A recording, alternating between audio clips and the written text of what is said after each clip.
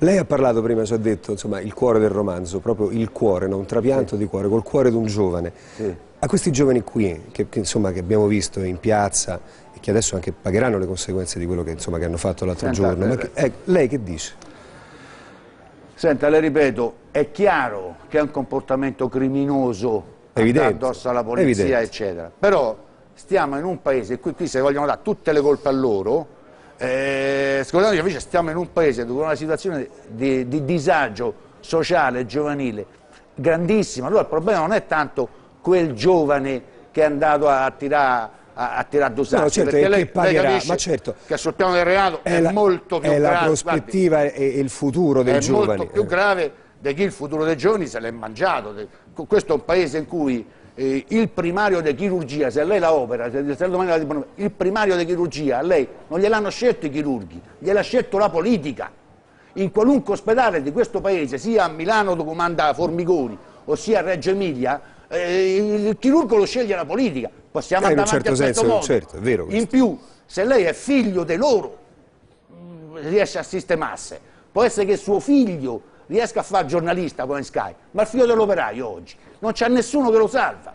I, i giovani che, che, speranza hanno? Questi giovani hanno solo la speranza, se non cambia il sistema, non solo il governo, non è sufficiente mandare a casa Berlusconi, dicevo, mandiamo a casa Berlusconi, poi al posto suo ci andiamo noi. No, è il sistema che deve cambiare.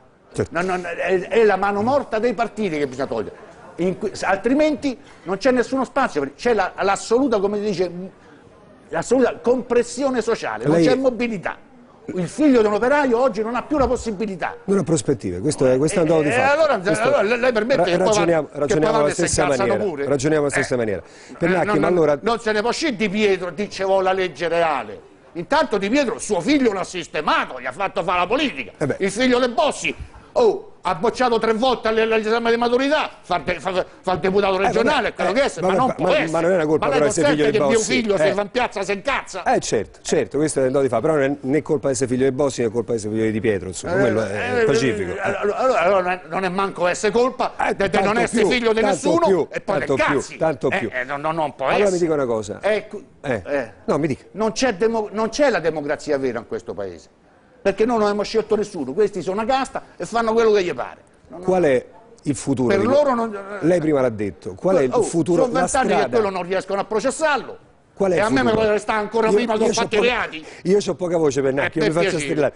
Eh, però io non dovevo parlare del libro. Non, non... No, no, ma in questo eh. modo parliamo del libro eh. perché anche il titolo Palude si riferisce a un uomo, ma insomma è la palude Ezra delle idee. dice eh. che il delinquente vero, Ezra Paolo è un poeta, il delinquente vero eh, non è quello che va a rapinare le banche, ma quello che l'ha fondate quello che l'ha fondato. Mm. Quello che l'ha... Eh, eh, guardi quello che sta succedendo. Senta, mi dica, io, io ho ancora 30 secondi. Eh. Mi dice se lei si immagina i prossimi vent'anni, i prossimi 10-20 anni, c'è un movimento buono, democratico, che porterà avanti rivendicazioni sì, vere? Auguro, Esiste? C'è questo allora, seme? Io ho grande fiducia nei giovani. Ecco. Perché sono bravi complessivamente, grandi cose. Mio figlio è meglio di me, è più calmo, più pagato, eccetera però eh, se non cambia il sistema politico l'unica speranza che noi abbiamo è veramente che Francia e Germania facciano eh, il nucleo forte dell'Unione Europea e ci continuino a commissariare, anzi ci invadessero con le truppe franco-tedesche, perché sennò qua noi non ne usciamo.